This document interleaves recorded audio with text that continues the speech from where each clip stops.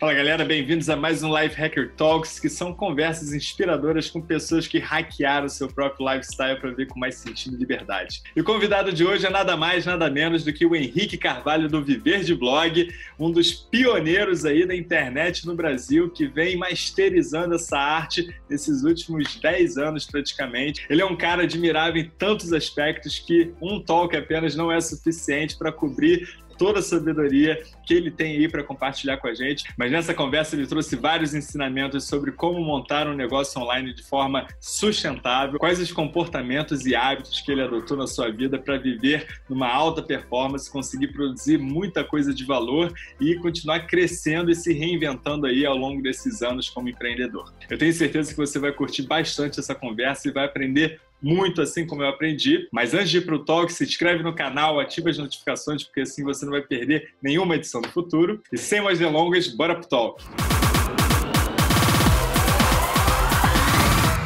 Bem-vindos, galera, mais uma edição aqui do Life Hacker Talks. E eu tenho o grande prazer de hoje acolher aqui o Henrique Carvalho do Viver de Blog. Henrique, ó, muito prazer em tê-lo aqui. É uma honra poder compartilhar um pouquinho da sua sabedoria com a gente.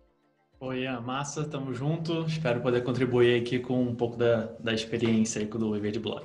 Excelente. E a gente se encontrou num fim de semana, tem algumas semanas, né, lá no Mastermind da Craft, do Vinhos, e o Henrique deu uma aula sobre tantos aspectos diferentes que eu falei, cara, eu preciso por aprender um pouco mais com esse cérebro aí, com essa experiência tão boa. Então, obrigado novamente pela participação. Eu gosto de começar aqui o bate-papo perguntando não quem você é, mas na verdade quais são as suas paixões hoje na vida. Cara, a primeira paixão é negócios digitais, então poder trabalhar sem com liberdade né, geográfica, é, trabalhar da própria casa, por exemplo, estou na minha casa aqui agora conversando contigo e saber que isso é um trabalho, eu poder escolher os meus horários é a minha primeira paixão. A segunda paixão é desenvolvimento pessoal.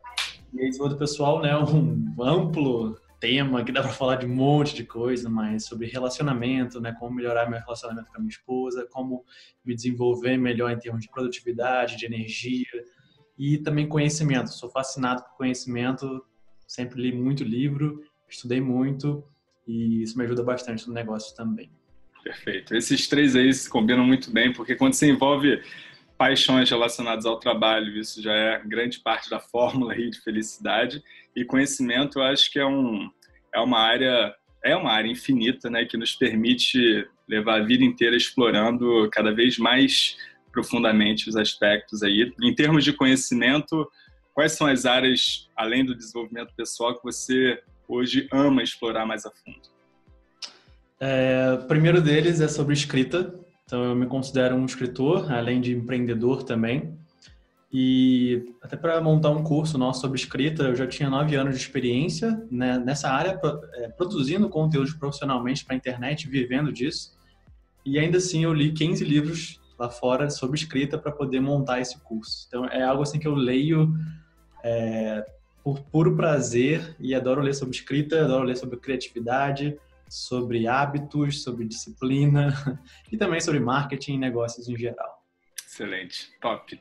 Agora me fala um pouquinho se uma mãe de um amigo seu que não te vê há 10 anos te cruza lá na rua no Rio de Janeiro, que eu sei que você é carioca, né?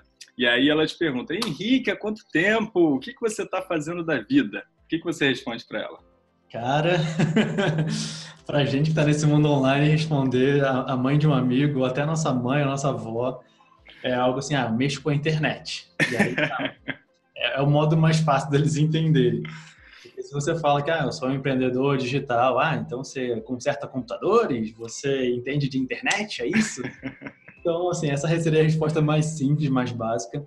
Mas hoje eu me defino, eu gosto de definir a Viver de Blog como uma pequena, uma pequenazinha startup no nicho de educação online que fala sobre marketing digital. E dentro de marketing digital vai sobre escrita, sobre é, técnicas de, de vendas, é, como captar mais leads, né, pessoas interessadas no seu negócio para conseguir se comunicar de uma maneira efetiva com elas. Perfeito. Você foi um dos pioneiros aí da internet no Brasil, né? Então conta um pouquinho como que apareceu, como que a internet como negócio, como projeto apareceu na sua vida e quando que isso aconteceu, dá um pouquinho aí de contexto para a galera. Ah, legal. Eu, gosto dessa história porque é, era um período bem difícil assim na minha vida, porque eu estava repetindo o meu primeiro ano na escola, o segundo ano na escola, o terceiro ano na escola, passei tudo assim, em recuperação, três matérias, era no limite do limite possível. E minha família é muito tradicional, sempre se formaram com faculdades públicas, é, a gente não tinha também uma condição de ficar é, pagando faculdade privada para mim e para o meu irmão, então tinha que ser faculdade pública. E a primeira que eu tentei foi o FRJ, Economia, no Rio de Janeiro, e eu falhei, não consegui passar. E aí nisso, meus pais já estavam meio bolados, vamos chamar assim, comigo. É, foi o único dia, além do, do, do, meu casamento, acho que foi o único dia que eu vi meu pai chorar, assim, meio que, pô, acho que meu filho está se perdendo na vida, não está passando na escola, na faculdade, o que, que vai ser do futuro dele? E logo entrando na faculdade, quando eu consegui passar depois de um ano fazendo cursinho, é, eu não me encontrei lá dentro. Eu vi que era assim tudo o que eu imaginava de tudo que eu não imaginava que seria legal na faculdade, eu encontrei dentro da faculdade. Então, é, as matérias não me agradavam, a maneira que era ensinado o, o tema sobre economia na faculdade não me agradava. Falava-se muito sobre a taxa de juros de 1970, 1980, e a gente estava no meio de uma crise financeira mundial, 2008, 2009 e não era falado sobre isso. Eu queria, não, vamos falar do momento de agora, o que está acontecendo, como é que a gente pode entender a macroeconomia do Brasil, de outros países, no contexto global, e não era falado sobre isso. E eu era apaixonado por mercado financeiro, lia muito livro de mercado financeiro, sempre a faculdade com uma, meio que uma bíblia do mercado financeiro, botava na cadeira, ficava lendo, enquanto o professor estava falando ali o tema dele da aula. E aí foi quando eu tomei conhecimento da internet, de que blogs é, de finanças é, eram grandes, tinham audiência, eu já percebi que, cara, dá para formar uma audiência na internet com um blog. E aí, no dia do meu aniversário, 28 de maio de 2009, é, eu resolvi me dar um presente. E esse presente era a fundação do, do HC Investimentos, que foi o primeiro blog de finanças e investimentos. Então, ao final do aniversário, todo mundo foi para casa, eu fui lá e, bom, criei o blog gratuito lá no WordPress e comecei a publicar sobre esse assunto. Então foi, foi assim que eu tomei conhecimento de, de, de blog. Foi assim que também na faculdade eu, eu, percebi muito cedo o que eu não queria na minha vida. Tanto é que depois de quatro anos de faculdade, que eu continuei muito mais para agradar meus pais do que saber que era o correto para mim, já que a minha família valorizava muito isso. Eu entendi que eu não conseguiria continuar na faculdade. Então, depois de quatro anos, eu larguei a faculdade é, lancei, lancei um e-book nessa área sobre alocação de ativos, né, de investimentos, e logo no primeiro dia a gente conseguiu faturar é, 10 mil reais com esse book. E naquela época era um, era assim, um resultado que pouquíssimas pessoas tinham chegado e, e aí o cofundador do, da Hotmart, o Matheus, me mandou uma mensagem dizendo que HC, você foi o primeiro produtor da Hotmart a chegar nos 150 graus, é considerado a temperatura máxima na plataforma. Foda. Eu vi que tinha um mundo pela frente. Então, deixa eu ir na faculdade, deixa eu seguir esse meu caminho, que é o que eu acredito. Isso foi em qual ano? Uh, eu, comecei, eu comecei o blog em 2009. É, em 2000, é, 2009 mesmo, acho que eu entrei na faculdade. Em 2012, eu lancei o e-book e resolvi sair da faculdade. Perfeito. Isso mostra que, que não é de um dia para o outro, né? Não é um milagre que acontece em uma semana, tal. Que tem muita gente no mercado ou que entra, que não entende do no mercado digital, empreendedorismo online, que já quer resultados milagrosos, né? Conta para gente aqui um pouquinho como que foi essa resiliência, como que foi esse essa sua jornada de ir descobrindo, errando, pivotando. Fala aí os principais milestones. Legal. É, assim, também foi um período é, difícil da minha vida, quando eu estava na faculdade, muito infeliz, estava com o blog meio como um hobby, mas toda noite eu me perguntava, cara, como é que eu vou viver disso? Como é que eu posso parar de estudar matérias que eu não quero na faculdade, ler livros que eu estou lendo por obrigação, como é que eu posso dedicar o meu tempo para ler tudo que eu quero e ainda conseguir ensinar outras pessoas sobre o que eu aprendi com o meu blog. Eu todo, toda noite eu me perguntava como é que eu vou ganhar dinheiro com isso. E ao mesmo tempo, eu não queria usar a Google AdSense, que é você colocar banner, você colocar anúncios dentro do site. Meu site era 100% limpo e gratuito. E eu fui captando e-mail. Né? O que é captar e-mail? É você colocar áreas em que a pessoa pode colocar o e-mail dela para receber alguma recompensa, um PDF, um mini curso gratuito em 10 lições. E de 2009 até 2012, eu consegui uma audiência de 6 mil pessoas na minha lista de e-mail. Três anos para conseguir 6 mil pessoas. O início é aquele negócio, é tipo sua mãe, seu irmão lendo, daqui a pouco seus amigos da faculdade. É uma galerinha tão pequenininha que você pensa assim, pô, vai demorar séculos para eu chegar a 10 mil pessoas. Então, três anos, cheguei a 6 mil pessoas e aí, com essa audiência já formada, dando conteúdo de valor ao longo de três anos, aí gratuitamente para eles, eu formei a base que iria comprar futuramente o meu e-book e os meus próximos cursos também. Então, é... e aí só para dar um contexto, eu me lembro de diversos, não foi um dia só, diversos dias que eu ia para a faculdade extremamente estressado, porque eram três horas de, de, ônibus que eu tinha que pegar até chegar lá, e acordava mal-humorado, tinha que acordar muito cedo. Chegava na faculdade, o professor às vezes faltava, eu tinha que voltar para casa e voltava pé da vida, porque, pô, perdi seis horas aqui de estudo que eu poderia estar publicando uma coisa no meu blog. E, cara, passei num ônibus aqui. Então, uh, então eu chegava às vezes na faculdade tão estressado que eu, eu nem sei o nome certo disso hoje. Eu tenho até poderia pesquisar melhor, mas eu, eu perdia momentaneamente a minha visão de tão estressado que eu estava e tinha que dormir na faculdade para conseguir voltar ao meu estado normal. Caralho, de tão estressado e tão infeliz assim que eu estava. Não sei se era uma depressão ou uma ansiedade quase, é, sei lá, um ataque de pânico, mas eu precisava dormir para voltar ao estado aceitável. Excelente. Cara, eu, ouvindo essa história, me vem três pontos aqui muito importantes, que eu acho que para qualquer empreendedor é fundamental. O primeiro deles é resiliência, de realmente, nesses momentos de perrengue, você conseguir é, se manter focado com o projeto, que foram aí três anos né, dando passos de formiga para conseguir seis mil pessoas, nem tendo muito clareza ainda do, do modelo de negócio vencedor né, para você.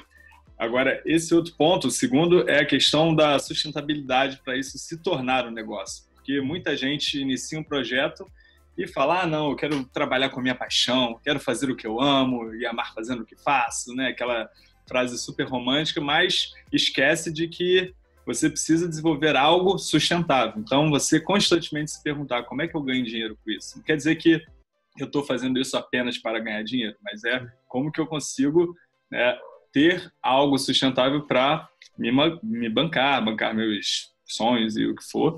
E o terceiro ponto que você falou é que todo mundo que realmente está no topo é, bate nessa tecla, que é dar muito, né? Dar muito conteúdo, dar é, sem pensar, né? Com mindset de abundância e dar durante muito tempo, né? Tem o, acho que é o Seth Godin lá, que há 20 anos que o cara dá, dá, dá, escreve todo dia e qualidade de podcast, de artigo, o que for, e isso ninguém vê, né? São 20 anos, são 10 anos, são você aí desde 2009, né? Também uhum. criando. Então, é, é assim, as pessoas não entendem quão poderoso é isso, né, para construção de uma marca, construção de negócio. Então, é, é muito legal ver isso daí. Eu queria entender hoje como é que você continua nessa pegada da abundância, da doação, né? Como que você hoje estrutura seus projetos aí tendo isso em mente também? Legal. É, e aí, só para reforçar o, o, que você acabou de falar, é, como você falou, muita gente iniciante, elas já querem entrar no ônibus e sentar na janela. Querem já aproveitar a brisa ali do vento e sentar ali no, no gostosinho que é a janela. Só que muitas vezes você precisa de um, um, bom tempo, né? Três anos, podem ser cinco, podem ser sete, podem ser dez anos desenvolvendo a sua arte, o seu craft, né?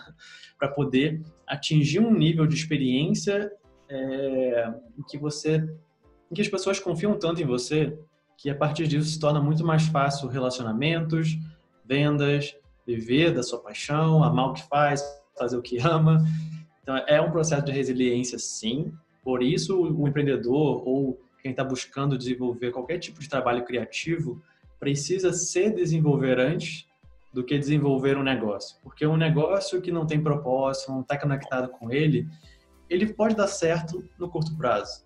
Mas a gente vê muito isso no mercado, de que empreendedores que só pensavam em fazer um dinheirinho rápido, eles até ganharam um dinheirinho rápido, compraram lá um carrão e depois de um ano eles sumiram do mercado e não conseguem se restabelecer.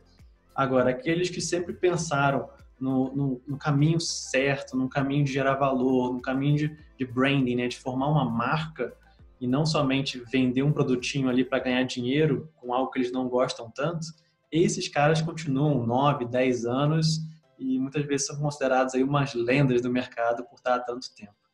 Perfeito. É, mas falando sobre dar continuidade né, ao negócio, logo quando, lá em 2012, quando eu vendi esse book, e eu estava esperando faturar, tipo, no máximo, dois mil reais. E não era nem em um dia, era tipo em uma semana, quem sabe. Afinal, era um e-book de 87 reais e uma galera, assim, mais de 100 pessoas compraram logo no primeiro dia. Eu lembro de ter chamado minha mãe e meu irmão no quarto, mostrei para eles os resultados eles, caraca, um dia, inacreditável. Excelente. E os meus amigos da faculdade falavam, caraca, você ganha em um dia o que a gente demoraria um ano inteiro para ganhar com estágio.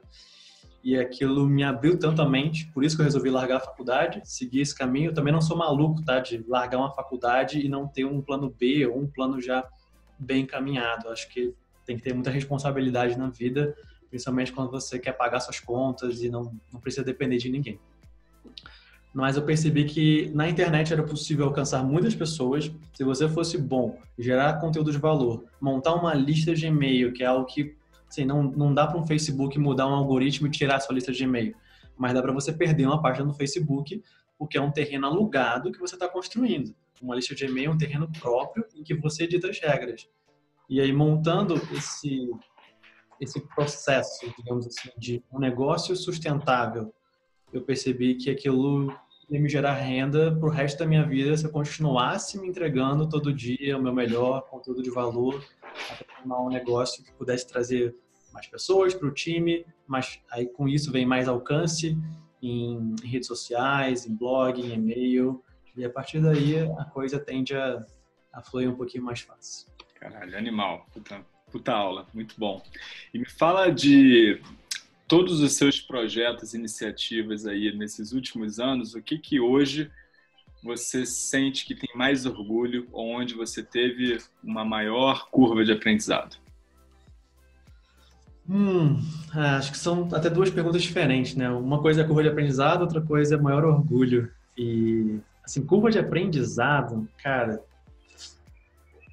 é, eu diria que o primeiro grande lançamento, assim, que eu fiz foi uma curva de aprendizado muito fantástica, porque era algo muito novo e se numa época faturar 10 mil um dia era muito para mim, assim, era exorbitante, era um negócio eu nunca imaginei que isso seria possível.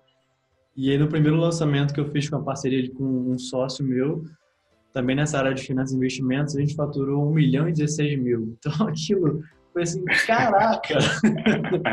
Meu Deus do céu! Tô rico! É, tipo, caramba, eu nunca imaginei que a gente pudesse chegar a um resultado desse tipo.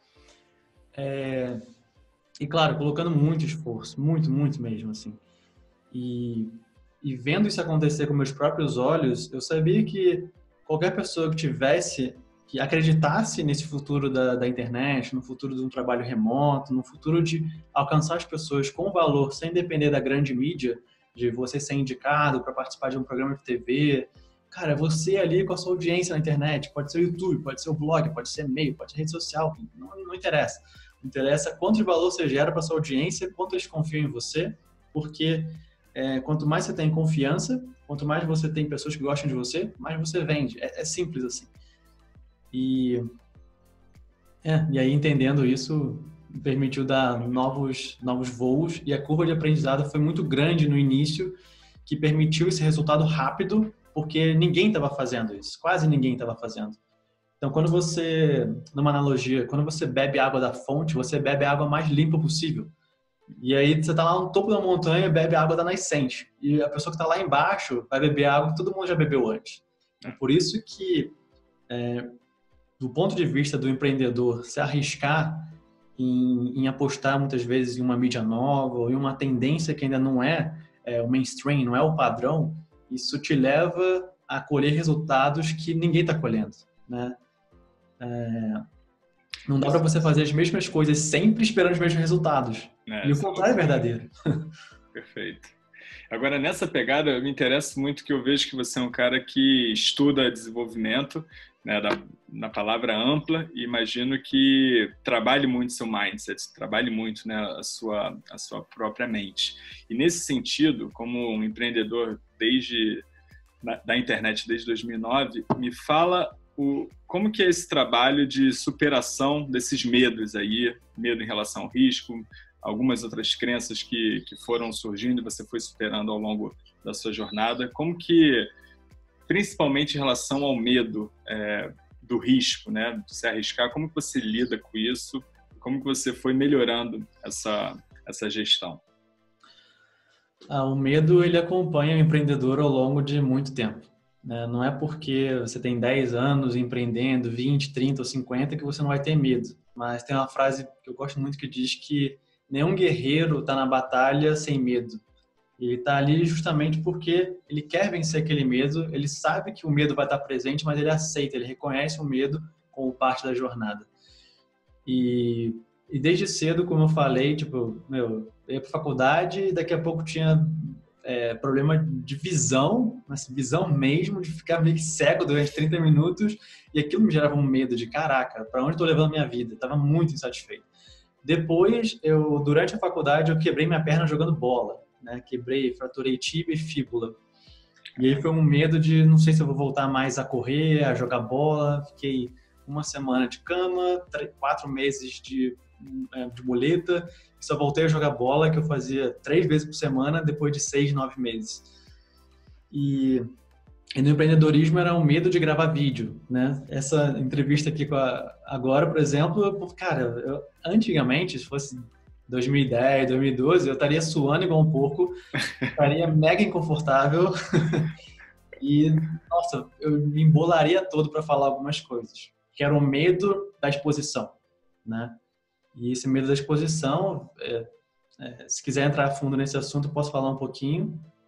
Mas durante um evento do Tony Robbins, ele fez uma dinâmica em que eu descobri de onde veio esse meu medo da exposição. Hum.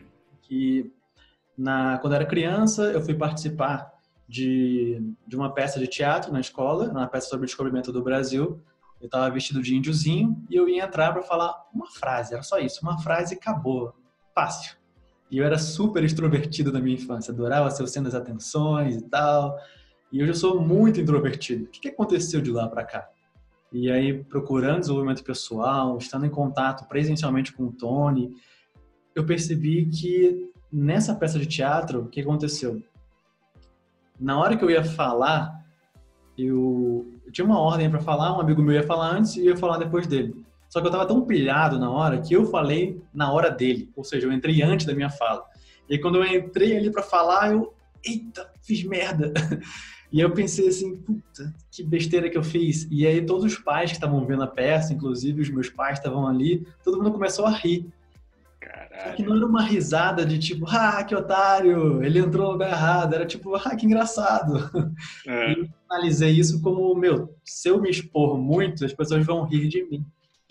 E eu sempre fiquei com isso na minha cabeça, o medo da exposição pública, do que vão pensar de mim.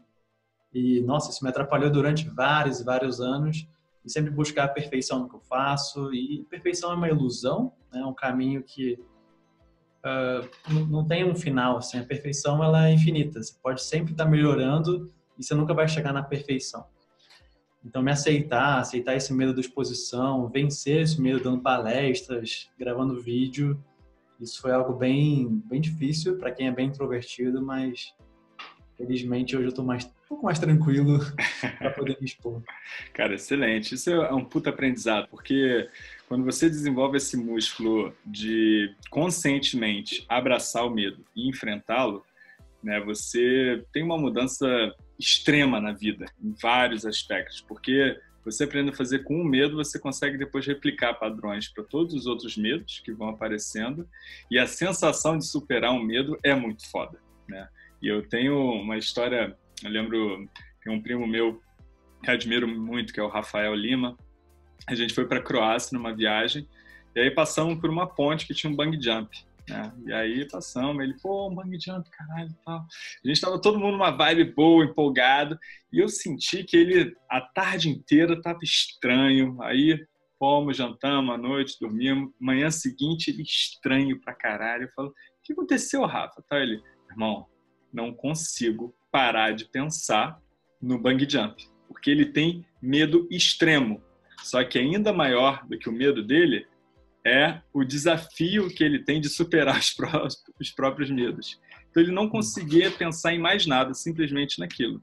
Até que a gente foi para o bang jump, ele saltou, foi assim, a coisa catarse, aquela adrenalina louca, mas depois disso, cara, bom, já era outra pessoa muito mais confiante em relação àquilo dali, porque ele mostrou e provou para ele a capacidade de superar o medo. Então, é, às vezes a gente não olha é, para o medo com essa oportunidade de, de crescimento e prazer que só o medo pode nos trazer. Né? Então, eu achei isso bem legal quando ele, ele se mostrou nessa pegada toda. Eu falei, cara, isso é um puta insight mesmo para quando eu ficar com medo de alguma coisa, em vez de simplesmente né, freeze, fight, fly, né, que a gente tem aí como é, atitudes meio que de reflexo, é realmente falar, cara, vamos enfrentar isso daí entender como que eu posso sair mais forte, né? Isso me ajudou muito em vários aspectos da vida também. Quando a gente estava lá no, no, no, no, encontro, né, do, lá no Mastermind, aí eu lembro que você foi, tipo, pra cachoeira seis da manhã, uma cachoeira fria, e eu pensando, caraca, esse daí, esse daí não, tipo, não tem medo das coisas, não. Eu só lembrei que é, é muito importante, né, da gente, que nem você falou, de buscar esse medo o medo ele vai sempre estar presente. Né? Sempre vai ter uma borboleta aqui dentro do estômago quando for dar uma palestra. Afinal, todo mundo é humano.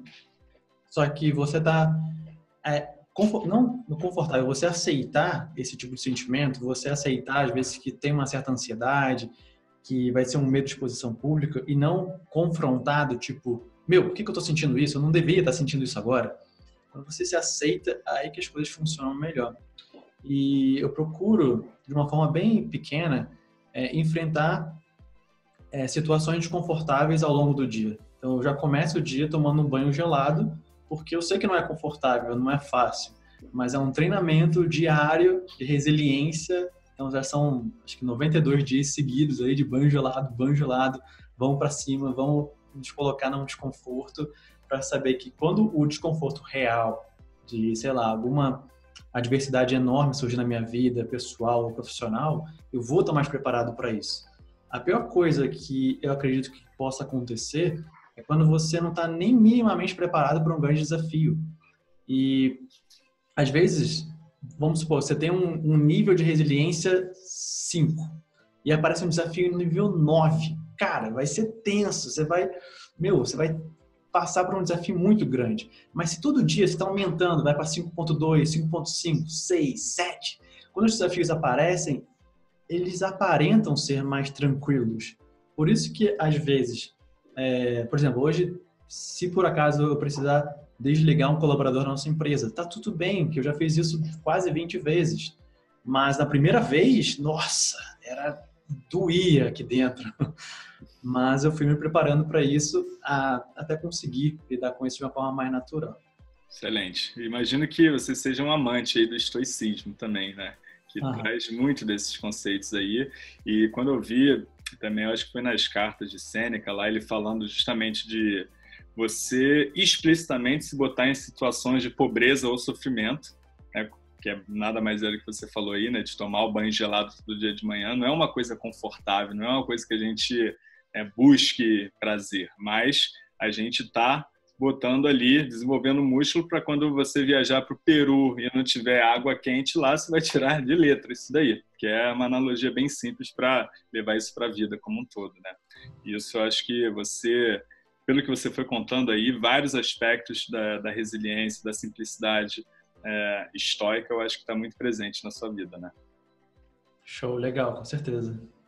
Top. Agora me fala aqui de novos comportamentos que você desenvolveu nesses últimos três anos aí, que você acredita que tenha tido um impacto muito forte, muito grande na sua vida.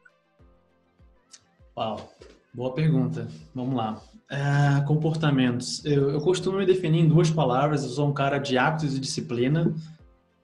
Uh, então, são coisas que hábitos são os processos que eu defino para minha vida que eu acredito que vão me levar para um próximo nível pessoal, profissional. E disciplina é ter a resiliência, ter a força, é, willpower, né, para executar isso.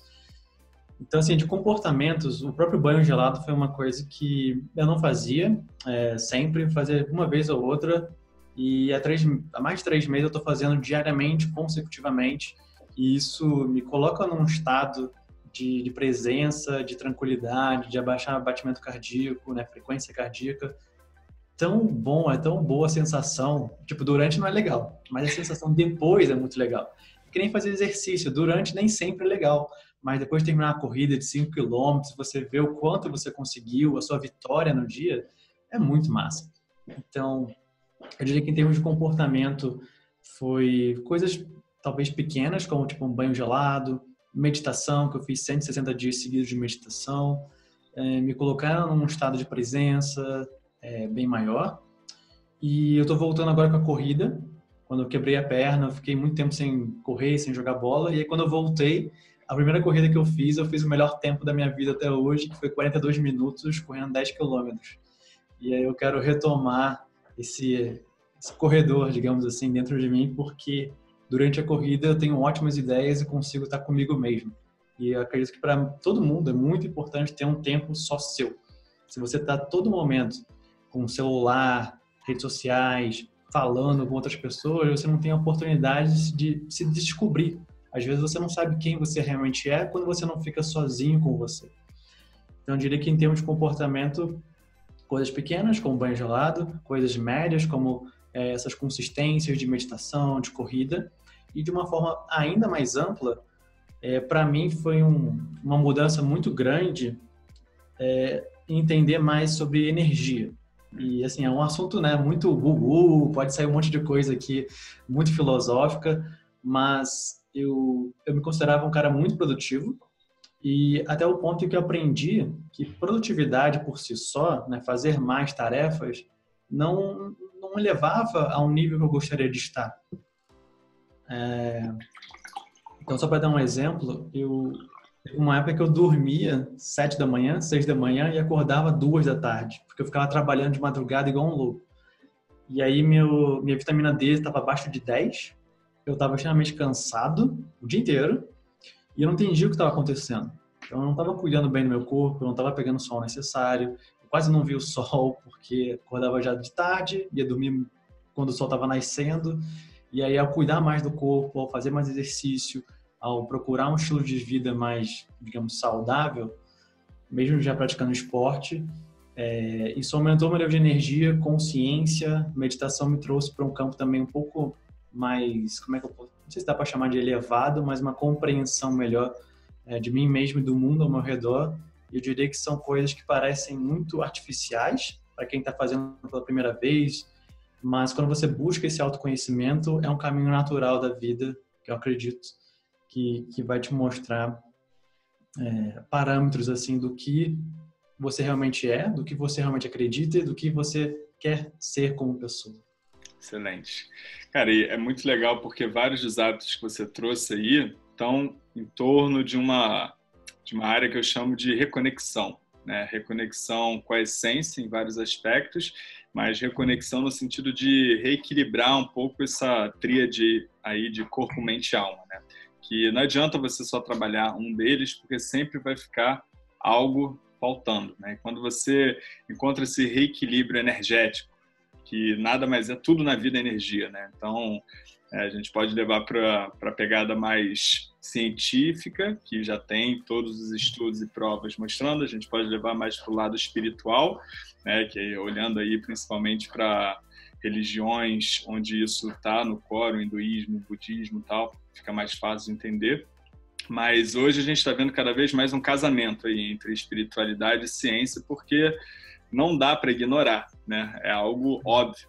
Quando você traz rotinas, hábitos e pequenos elementos para iniciar essa reconexão, esse reequilíbrio que, infelizmente, a gente perdeu tanto no dia a dia por ter um milhão de camadas aí, né, de coisas a se fazer, coisas a, a, a, a aceitar que a sociedade nos impõe e tal, que acabe quando a gente conecta um pouquinho com a essência, a gente fala, cara, o que eu estou fazendo aqui? Isso daí é estranho, né? Mas é seria o natural a gente ter é, essa, essa questão da nossa presença plena, intenção no que a gente faz, é, trabalhar o nosso corpo, trabalhar a nossa mente. E, e, é muito legal que eu acho que você trouxe de uma maneira assim simples, mediana e mais avançada coisas que vão você vai criando dentro da sua rotina aí para conseguir novamente essa reconexão. Então, muito foda, muito bom. Agora tem também aí um algo que você está testando que eu fiquei muito interessado quando você falou, lá na, no encontro também, que é a questão das mini férias, né? Porque é algo que hoje na minha vida, eu por ter um pouco mais de flexibilidade, eu sinto um pouco isso, que eu é, meio que estou sempre em férias e meio que estou sempre trabalhando. O que tem seu lado positivo e seu lado desafiador de separar, encontrar um bom equilíbrio, nem todo mundo consegue ter a disciplina tal. Mas você encontrou um modelo muito interessante que ajuda a simplificar essa, essa mistura que a gente tem hoje de trabalho, né, lazer. Você acho que encontrou uma fórmula bem interessante. Então fala um pouquinho sobre ela e como está sendo sua experiência. Massa, legal, cara. Bom você falar disso, ainda mais, ainda mais para um, um, cara que está tão acostumado a viajar. É, primeiro, como que eu cheguei né, nesse, nesse método? Uh, no início desse ano mesmo, é, diria que foi um, mais um período difícil em que eu estava bem ansioso, estava com alguns problemas na, na empresa mesmo é, e precisava mudar o pivotar, né? Já, sei lá, quantas vezes eu já pivotei o negócio, mas é incrível. Cada hora é um desafio diferente que aparece, a gente precisa se adaptar, mudar, então não tem assim a estabilidade 100%. As coisas vão ficando mais fáceis quando você tem um, uma clareza do futuro que está seguindo. E eu estava usando um, um, método de vendas online que não era compatível com o tamanho da equipe que eu estava que eu estava é, crescendo. A gente estava em 18 pessoas e eu estava muito mais presente como gestor do negócio e perdendo um pouco da minha essência escrevendo, produzindo conteúdo, caras que são bem essenciais para o que eu faço hoje. Então, no início desse ano, eu posso dizer que assim, é, eu estava com um burnout, né, um excesso, estresse, trabalho, e isso é devido é, ao empreendedor ser tão intenso que quando ele trabalha em casa, ou ele tem essa liberdade para trabalhar quando ele quiser, se ele não se dá o tempo necessário para descansar, como um atleta precisa descansar após um treino intenso, ele acaba entrando nesse overtraining, né, esse treino muito pesado e exaustivo. Então, eu estava trabalhando final de semana, quase todo final de semana, janeiro era direto, trabalho segunda domingo, encontro presencial, imersão que eu dava, palestra que eu dava, até um ponto em que meu próprio organismo falou: vai com calma, está exagerando. então, é, batimentos mais elevados, às vezes umas crises de ansiedade. E eu pensei, cara, isso não está certo, esse não é o caminho que eu desenhei para minha vida. É, e a partir disso, eu tomei conhecimento de uma metodologia lá fora, de um cara chamado Sean West, que estava falando sobre viagens sabáticas. E a analogia era: alguns professores universitários tiram o ano inteiro após o sexto. trabalham seis anos e tiram o sétimo ano inteiro para, às vezes, escrever um livro, às vezes, para ter uma nova visão sobre a carreira deles. Eu pensei: caramba. Quer dizer, ele pensou, né? E se ao invés de sete em sete anos não fossem sete em sete semanas? E para o empreendedor digital isso é muito importante é, já que a gente trabalha de uma forma tão intensa que na sétima semana a gente pode descansar. Então são seis semanas de trabalho, não que você vai trabalhar todo dia, inclusive sábado ou domingo, pelo menos um dia a gente precisa tirar off, senão fica um negócio também muito pesado. E, e essa ideia nasceu justamente de evitar burnout, de evitar o excesso de trabalho, que pode ser algo comum quando você não está prestando atenção é, no seu próprio corpo, organismo, energia. Então, daí surgiu essa ideia e hoje a gente está ah, indo para a quinta viagem sabática esse mês agora. Final do ano também a gente vai viajar para fora para descansar um pouco. E é um, é um marco no nosso calendário. Não é algo que a gente pensa, ah, vamos tirar um pouquinho aqui, vamos tirar uma semana em novembro? Não, tá no calendário, é uma assim, é meio que uma obrigação nossa ir para a viagem sabática, porque não só evita esse estresse acumulado, como também permite ao, vamos chamar de artista, e a gente que está produzindo conteúdo, a gente pode se definir como um artista muitas vezes, você ter uma visão diferente do mundo onde você está, é você se reconectar com você mais vezes, é você relembrar da sua essência, de você olhar para a natureza, que não há julgamento nenhum na natureza, e pensar em novas ideias, novos negócios às vezes. E, e com isso você volta com a cabeça tão. É como se você tivesse tudo rabiscado no papel e tivesse uma borracha para apagar tudo e, cara, tá aqui, começa do zero, do branco. Então, por isso que a gente está fazendo esse projeto de viagem sabática, sete em sete semanas. Cara, fenomenal. Eu sou muito fã, porque assim, você é um cara que eu já admirava antes, mas não te conhecia. E aí, depois que eu te conheci, é, é aquele, é aquele cara que você se apaixona, né? Porque você, além de ter uma humildade fodida, você é um cara que eu acho que tem uma coisa muito diferencial, que é disciplina de testar coisas, analisar e identificar padrões e trazer isso de uma maneira simples, tangível e prática para ser testado e realizado. E você faz com você, eu acho, a maior parte desses testes. E isso daí, do jeito que você explica, que pode parecer complexo para muita gente, você sai daqui falando, cara, vou fazer isso amanhã, porque é muito simples, né? O conceito e os benefícios são escancarados de fazer isso daí. E eu acho que quando você traz esse elemento do, do artista, né? A gente precisa trazer mais esse mindset também de que todos nós somos artistas e cada um tem sua própria arte. Se você é engenheiro, você tem uma arte que é diferente do pintor, mas no final todo todos esses todas essas frentes demandam criatividade e demandam inovação, né, para você fazer de maneira é, maestral algo na vida, né? Então eu acho que ter esses intervalos aí para reconexão, como você falou, e, e, trabalhar essa criança interior, interior, esse artista, um novo olhar para as coisas, é uma maneira muito sábia de você sempre se manter no top do que você faz, né? Então, pô, achei fenomenal. Vou pensar em como que eu posso integrar isso na minha vida, que eu tento fazer isso meio que ongoing, e, e, aí eu tento trazer isso para o aspecto diário também, mas óbvio que não é a mesma desconexão, né, imersão que você pode fazer, mas é o que eu tento tra trazer, sei lá, quatro horas por dia, ter esse momento mais eu, mais introspectivo, mais sai barulho, deixa isso tudo do lado de fora, mais artista mesmo.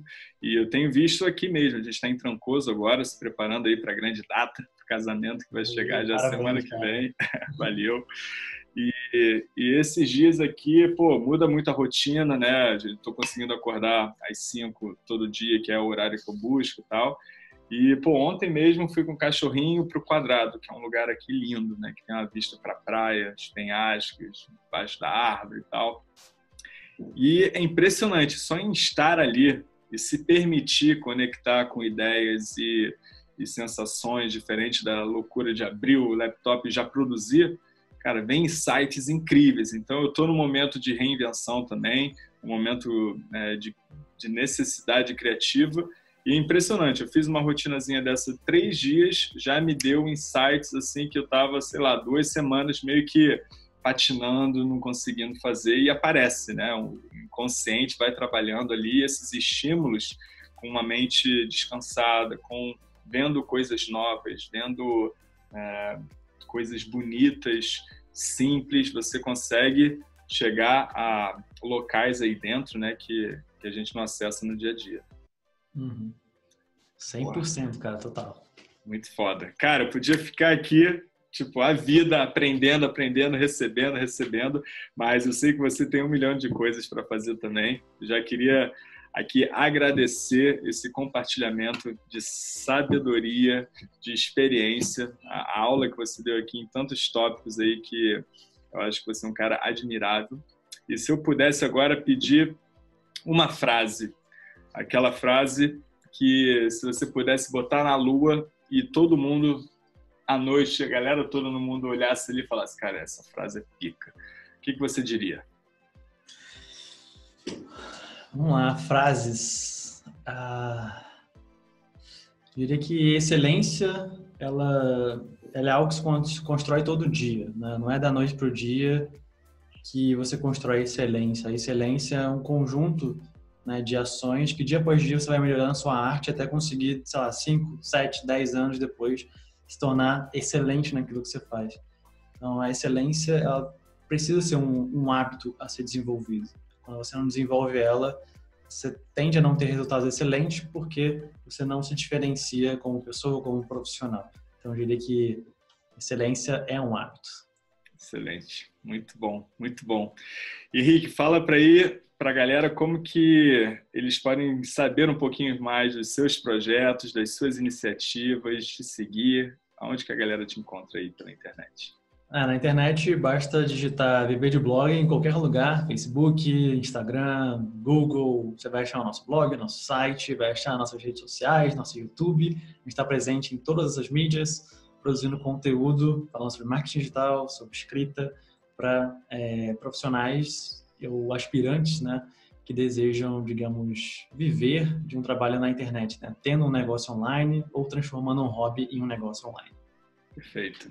Cara, Henrique, obrigado, foi incrível. Valeu aí pelo seu tempo, pela sua generosidade e a gente se fala aí na próxima. Valeu, Ian. Obrigadão, cara. Bom casamento aí para você. Depois me conta como foi. Demorou. Valeu, obrigado. Valeu. tchau. tchau. Olá, e aí, curtiu essa conversa com o Henrique?